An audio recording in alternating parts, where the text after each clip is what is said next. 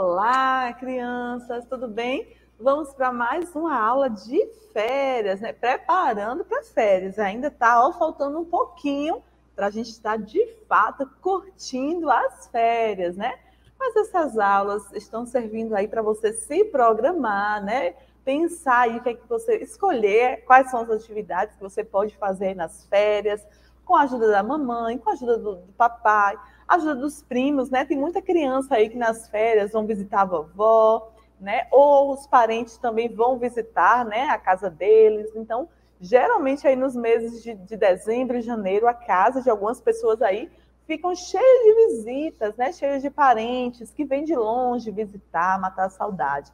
E nesse período que a gente passou aí, né, com a pandemia, muita gente parou de não pôde se reencontrar, né, por conta da, do vírus, e agora com a vacina a gente está conseguindo, né, reencontrar os parentes, e a gente vai ter muito momento aí, né, para é, curtir ao lado dos familiares. Então a gente vai trazer para vocês hoje mais duas sugestões de brincadeiras, né, que vocês podem aí fazer durante as férias de vocês, tá bom? Então é, é a aula, né, férias brincantes, tá joia? E como vocês estão vendo ali no slide, nós vamos fazer, nosso primeiro brinquedo de, que nós vamos fazer aqui, ensinar para vocês, é esse labirinto que está mostrando aí na imagem, né? Então, para fazer esse labirinto, você vai precisar de, né? Como a gente pode ver ali na imagem, caixa de papelão, mas você não vai usar a caixa toda. Então, você pega só a tampa da caixa, e pode ser caixa de sapato, olha só, a Pro já forrou aqui, ó, a caixa de papelão. Então, você usa uma caixa de sapato, ou você pode usar também uma. É, aquelas caixas, sabe, que a gente guarda, é, que a gente encontra no supermercado? Às vezes ela vem com tampa. Ou se você não achar uma caixa que tenha tampa, né, como a Pro mostrou na imagem, você pode pegar aquela caixa grandona e cortar ela, né, tirar só essa parte aqui da base para fazer o seu labirinto, tá joia? E aí você pode forrar com uma cor bonita, né? Fazer um, um design bonito aí na sua, na sua, no seu labirinto, né? Aqui, por exemplo, com esse azul, a gente poderia fazer o sistema solar, né? Fazer os planetas. Então, você faz aí a sua decoração, né? De acordo com o que você mais gostar. Então, a gente vai precisar da caixa de papelão, vamos precisar também do canudo, né? Então, canudos coloridos ou canudos de uma cor só. A Pro tá usando aqui, ó, canudos escuros. Não sei se vai dar para você ver. Ó, tá vendo? Então você vai precisar de canudos. Não vai precisar de muitos canudos, não, mas assim, uns 10, né? Depende muito do tamanho que você vai querer fazer o seu labirinto, ou também o, o tanto de paredes, né, que vai ter o seu labirinto, né? Então, para você saber quantos canudos você vai utilizar, a gente a prova te falar o que, que você precisa você fazer para você ter essa ideia de quantos canudos serão necessários. Então, a gente vai usar caixa de papelão, a tampa, né, no caso. E se for uma caixa sem tampa, como a Pro falou, você recorta ali a base da sua caixa, né? Essa aqui, por exemplo, ó, deixa eu contar um segredo para vocês. Ela, uma, ela era uma caixa mais alta, ela vinha aqui mais ou menos, ó. E aí a Pro fez o quê? Cortou aqui, ó, a base dela. E aí parece uma tampa, né? Pois é. E aí, além disso, a gente vai precisar também de bolinha, né? Olha só, a pro, a produção, na verdade, conseguiu para a gente aqui, ó, umas, uns coquinhos que tem aqui no, aqui no Maestro Miro, né? Um coquinho em miniatura, gente. É uma fofura, olha só. Um coco verde pequenininho. Pois é, que você vai usar com uma bolinha que vai andar no seu labirinto. Além disso, ó, tem essa, essa sementinha que a Pro não sabe de que é. Sabe de que é, produção? Não. É uma sementinha laranjinha aqui, ó. E aí você vai usar só para brincar, hein? Nada de botar na boca, e nada de botar a mão suja na boca nem no olho, tá bom? Porque pode soltar alguma coisa, tá certo? Então a gente vai precisar disso. Além desses três materiais que a Pro colocou para vocês, a gente vai precisar também de uma folha de ofício, né? Porque é nele que a gente vai construir o nosso labirinto, né? Então você não vai sair colando o canudo de qualquer forma aqui na sua tampa. Você vai pegar uma folha de papel e você vai pensar no, no formato que você quer ter para um labirinto. Então, primeiro, né, um labirinto, ele tem que ter um lugar de entrada e um lugar de saída, né? Então você vai escolher no papel onde é que você quer que comece e onde que você quer que termine o seu labirinto. Então eu vou querer que o meu labirinto ele comece e aí ó, uma dica que eu vou dar para vocês. A largura do meu labirinto vai ser da largura da minha régua. Isso vai me facilitar muito, né? Porque eu já vou ter aqui o traçado certinho, né? Do formato da régua. Então eu vou querer que meu labirinto ele comece aqui nessa parte da folha e termine desse lado aqui, do lado oposto, certo? Então vou marcar aqui logo para vocês e já mostro. Então vou colocar aqui a largada, né, para o labirinto. E aí depois eu vou querer, ó, que ele venha para cá. Aí você faz primeiro o percurso correto para o seu labirinto, tá joia? Espera aí que a Pro já mostra para vocês. Então você faz o percurso correto para o seu labirinto. E, e num labirinto, né, um labirinto de verdade, ele tem o, o percurso correto e o percurso errado. É ou não é? Tanto é que tem muita gente que se perde aí nos labirintos. Então, você faz o caminho que você quer, né? Que a bola chegue até o final, né? E você vai fazer depois os obstáculos, tá bom? Os obstáculos para o seu labirinto. Já estou chegando lá no final. Espera aí que eu já mostro para vocês. Vocês podem usar lápis, tá bom? Para fazer o labirinto. E aí, se você errar ou se você não quiser aquele formato, você pode apagar. Deixa eu só mostrar. Espera aí que eu já mostro para vocês. Aí aqui nessa parte eu vou deixar ele bem retão aqui, ó. Prontinho. Olha só o meu labirinto.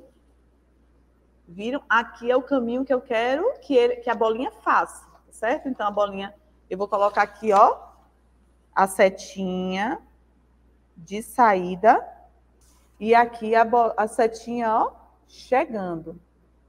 Aí você pode até aqui na caixa, ó, depois pedir ajuda de mamãe ou de papai para fazer um buraquinho, que aí a bola pode sair, né? Você pode colocar um buraquinho para a bola entrar e um buraquinho para a bola sair, tá bom?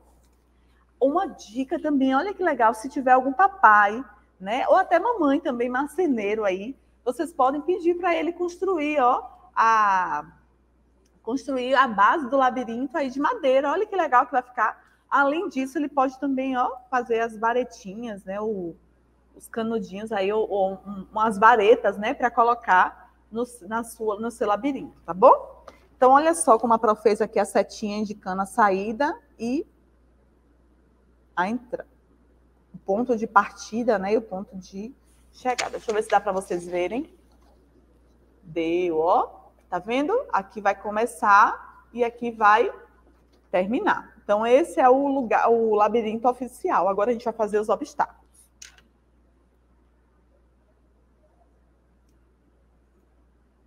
Aí, na hora que você for cortar, a gente pode deixar ó, alguns caminhos abertos, né? Eu vou mostrar para vocês. Só um minutinho. Como é que a gente pode fazer?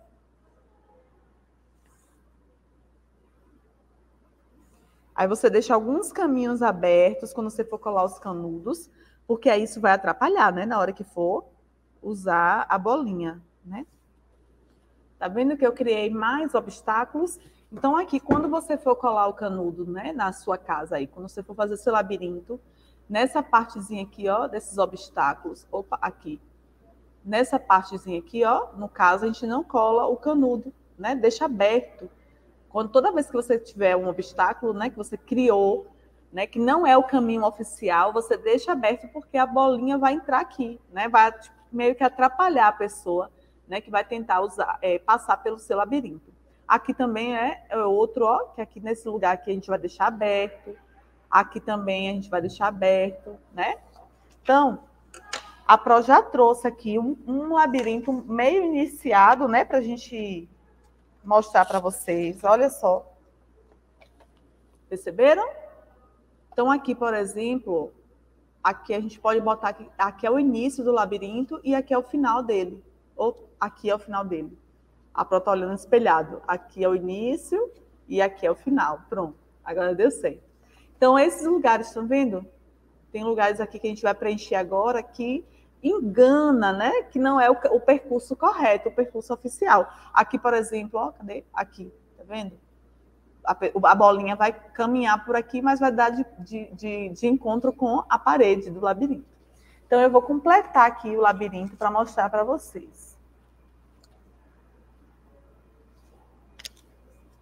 Você pode usar ó, a cola de silicone, né, para colar.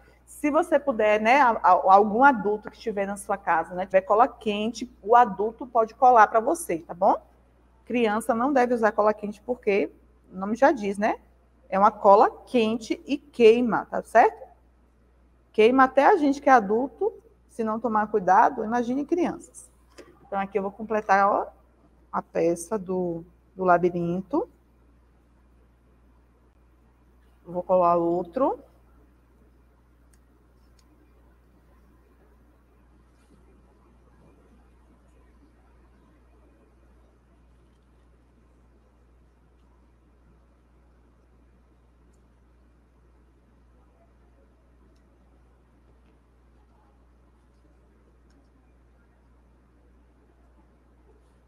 E a gente vai colando e você vai né, é, completando aí, colocando na marcação que você fez, né, no seu labirinto, você vai colocando.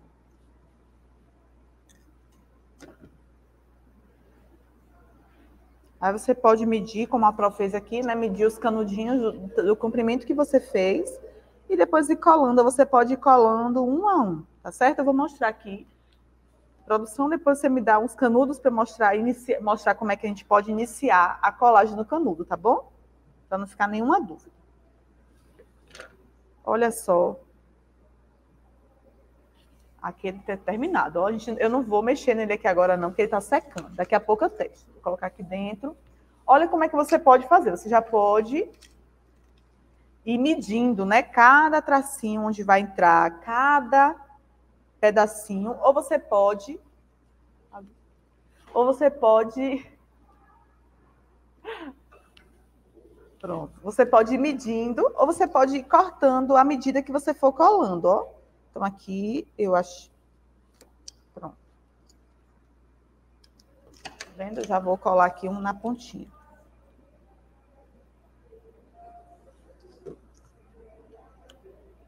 Ó. E aí você vai cortando, colando, como a prof foi falando para vocês. Aqui.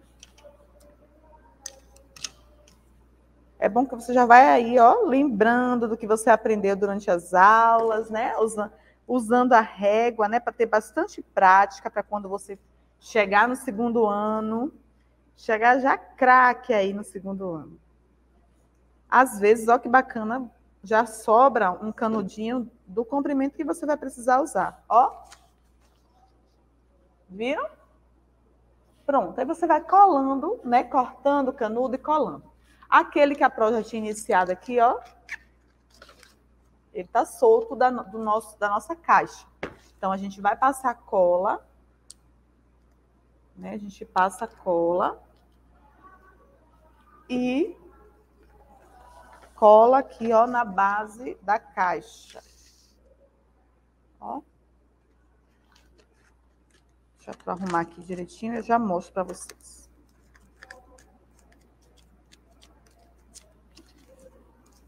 Ajeita direitinho o seu labirinto. E aí, como eu falei, você pode colocar um buraquinho, fazer um buraquinho na caixa, né?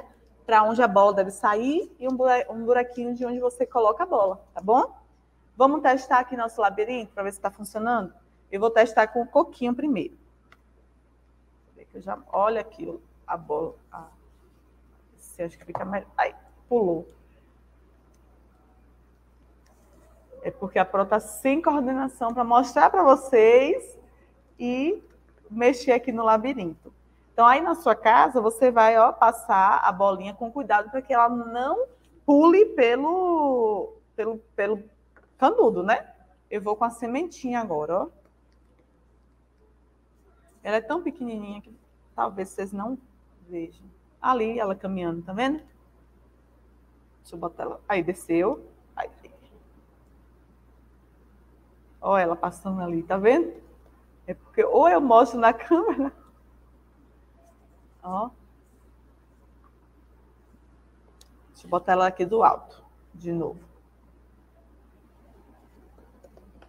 Viu que ela foi quase fazendo o percurso direitinho? Então, testem aí com, a, com as bolinhas, se vocês tiverem em casa, sementinhas, ó. Miçangas também, né? São úteis para vocês brincarem aí na casa de vocês, tá joia? Eu espero que tenham gostado dessa brincadeira, né? Dá para fazer, como a Pra falou, de diversas formas aí o labirinto, né? Você pode fazer labirintos é, até circulares, né? Aí você não vai usar o canudo, porque o canudo, né, é, tem linha reta. Aí você tenta ver com a mamãe algum material que você tem em casa, né? Tem cordões, tem barbantes que são bem grossos, que você pode fazer um, um labirinto aí é, circular, né? Ou você pode fazer outros, outros percursos aí é, traçados de labirinto, diversos traçados, tá joia? Usem a criatividade de vocês. E aí essa brincadeira é boa que, ó, desenvolve o raciocínio lógico da criançada e de adulto também, hein? Então chama a mamãe e papai para brincar com você aí de labirinto, tá bom? Então eu vou colocar aqui agora o nosso a nossa próxima aula, tá certo? Nosso próximo, nossa próxima brincadeira, que é essa aí, ó. Deixa eu pausar aqui. Opa, pronto. Deixa eu pausar.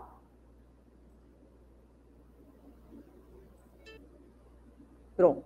Por que a gente vai fazer essa brincadeira? A prova vai ensinar para vocês essa brincadeira.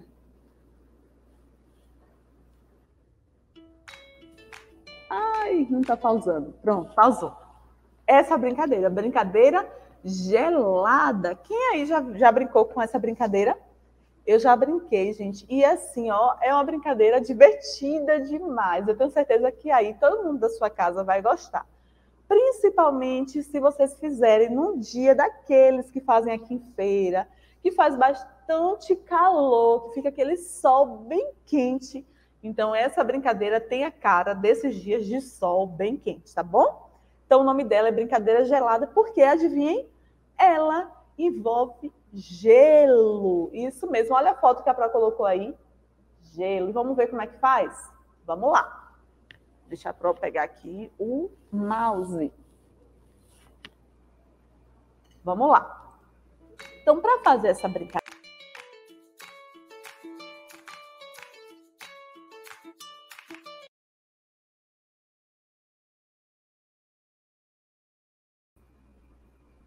Isso, os materiais que você vai precisar são esses aqui, ó, que a prova vai mostrar para vocês. Deixa eu voltar aqui. Eita, o slide está passando. Os materiais que a gente vai precisar são Olha só.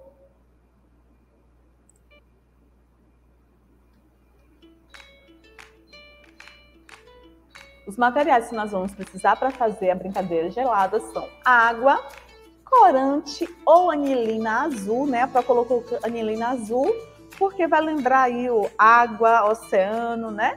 E a gente vai precisar também de brinquedos diversos, como a Pro mostrou aqui nesse, nessa parte do slide, olha só, né? Esses brinquedinhos aí são que vocês vão usar para fazer o brinquedo de vocês. Olha só, né? Então aqui a gente vê vários brinquedinhos, aqueles brinquedinhos que você tem aí de miniatura, você pode usar nessa brincadeira. Além disso, você, aqui a anilina para mostrando para vocês, uma colher, né, para mexer o conteúdo ali do corante e uma vasilha, né? Então a gente vai precisar de uma vasilha para colocar a água né? E uma para mexer o corante, tá bom? A Pro não mexe junto lá, porque a gente já deixou os brinquedinhos organizados, né? Então é, é bom diluir o corante, né? O anilina. Esse aí é um corante alimentício, né? Ele vem em gel. Então, olha como é que ele cai. Então, ele precisa ser diluído. Então, se você colocar direto nos brinquedos, pode ficar sem, sem diluir direitinho, né? Pode até manchar o brinquedo, dependendo do conteúdo. Então, usem brinquedos de plástico, tá? e brinquedos que não tenham partes finas, brinquedos que tenham partes mais grossinhas, tá joia? E aí você vai mexendo. Aí eu, eu contei com a ajuda de minha ajudante Mirim lá de casa, ó. E aí, tá vendo? A gente coloca os brinquedinhos numa vasilha e despeja, ó, aquela aguinha colorida dentro dela. E aí os brinquedos vão, ó, se mexendo todinhos, eles vão ficar misturados. E não tem problema, que isso é o que vai deixar a sua brincadeira mais divertida, mais legal, né? porque aí você vai tentar encontrar cada um deles. E olha só que legal. quando você, você pode fazer um desse aí, um cubo desse, para cada criança de sua casa. E vocês podem fazer uma competição para ver quem consegue tirar todos os brinquedos de vez, né? E aí você coloca é, a mesma quantidade né, de brinquedos em cada vasilha, cada criança vai ter a mesma quantidade. E a gente foi brincando, né? Eu e minha filha, a gente foi brincando de, de tirar ali os brinquedos. Ai, pausou ali, pronto a gente foi brincando de tirar os brinquedinhos que estavam presos no, na pedra de gelo. E aí, uma dica que é para dar para vocês, né? Pede a mamãe ou ao papai para esquentar um pouquinho só de água. Não precisa ser muito e não precisa ferver a água, não. A água deixa bem morninha, sabe? É, que a gente consiga é, colocar a mão né, na água depois. Então, é, a mamãe pega essa vasilha com água morna e você vai despejando. Ó, eu fui pegando a concha e fui jogando, porque isso vai ajudando o gelo a derreter mais rápido, né? Além disso, a gente usou ali um machucador, aquele de fazer tempero, né? O da Pro ali, ó. A gente vai quebrando algumas partes, né? Isso também vai ajudando. Você pode usar colher para ir raspando também, né? E aí a gente vai tentando soltar os brinquedos. Alguns saem facinho, facinho, né? Outros é, demoram um pouco mais. Esse cavalo e essa coroa demoraram um tempão para a gente conseguir tirar. E a gente vai jogando água, vai jogando água. E isso vai ficando divertido. Imagine sair num dia de calor. Eita, que é uma brincadeira, uma farra, né? E aí, quando eu falei com vocês, para vocês pegarem brinquedos que não tenham peças finas, né? Esse pôneizinho aqui, laranjinha, ó. Falei, esse pôneizinho laranjinha aqui. Ele, na hora que a gente tava, ele grudou uma partezinha e aí quebrou, né? Deixa eu ver se vocês conseguem ver. Tem uma lasquinha dele quebrar. Então coloquem brinquedos que não tenham valor, né, muito caro, que vocês não gostem muito, né? Porque se quebrar alguma partezinha, senão ficar triste. Não é costume quebrar. Percebam, ó, que só foi ele que quebrou, porque ele é bem frágil, né? Mas os outros não quebraram, tá certo? Então você pode aí se divertir dessa forma aí, com essa brincadeira gelada, né? Você pode usar outras cores, você pode usar outros objetos, né? Você pode é, também como a Pro falou, fazer a competição com outras pessoas de sua família. E aí vocês cronometram o tempo, né, para ver quem consegue é, soltar as peças primeiro, né? E aí lembrando que se você for fazer uma competição, todo mundo tem que receber, né, tem que ter a vasilha igual, né, e a mesma quantidade de brinquedos, ainda que os brinquedos não sejam iguais, né? E aí, olha só, o cavalo, né, como ele, ele é era um pouco maior e ele tinha as quatro patas, né? Ele ficou um pouco mais difícil de, de, de soltar do, do, gelo, né? Os brinquedinhos que eram menores, eles foram mais fáceis de ser soltos. E aí, como a Pro falou, façam aí no dia de verão, no dia de verão bem quente da sua casa. E me contem aí depois nos comentários como foi, se foi divertido, se foi legal, né? E, e aí eu tenho certeza que vocês vão curtir demais essa brincadeira, a brincadeira gelada. Tá joia? Se você não tiver corante, não precisa colorir a água, pode deixar a água transparente mesmo. O, o, a, o corante, né, ele, além de ficar bonito, né, o efeito, ele também deixa um pouco mais difícil né, da gente olhar os brinquedos que estão dentro do gelo, né? Então, essa é uma função do corante. Se você não tiver, não tem problema, mas se você tiver, olha, vai ficar bem legal, tá bom? E os brinquedos, quanto mais você colocar, melhor, tá joia? É isso, gente. A gente vai ficando por aqui. Eu espero que vocês tenham curtido essas duas dicas que a Pro deu para vocês, ó.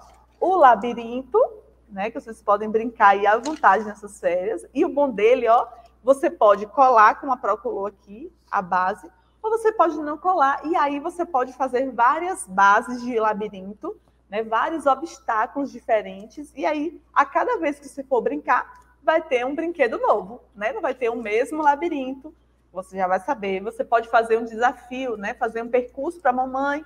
A mamãe pode fazer um percurso para você, né? Um traçado para você. E a, a, outra brincadeira é a brincadeira gelada que você pode aproveitar aí bastante, tá certo? Então curtam muito as férias de vocês, tá bom? Ah, sim, aí a madeira, né? Lembrem disso. Se você tiver como, como fazer, é, tiver aí algum marceneiro na família, você pode pedir para eles fazerem ó, o labirinto de madeira para você. Né? Olha só que divertido vai ser, né? E você pode fazer, como a Pro falou, o buraquinho para colocar a bola e o buraquinho de saída da bola, tá bom? Que aí vai ficar bem legal também, bem divertido, tá bem? E aí você pode usar a criatividade. Tá joia, gente? É isso e nós nos vemos na próxima aula. Um beijão e até mais. Tchau, tchau.